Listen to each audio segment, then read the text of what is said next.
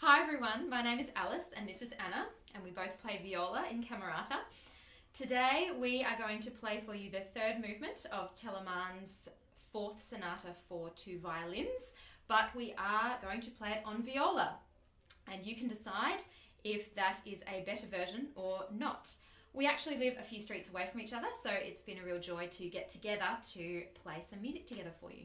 We hope you enjoy.